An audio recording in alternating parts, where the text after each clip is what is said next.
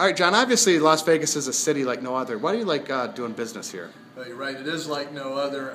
I can't figure out if it's the smallest big town or the biggest small town. but uh, what people don't realize uh, from around the world is what a what a close knit community that this really is here in Las Vegas. And most people think the Strip, and that's what they think Vegas is. But there there's a generous, giving, caring community here, and I get to see the good part of that every day of this community caring about its needy neighbors and, and doing things to make a difference. Uh, but uh, Vegas is a great place to be.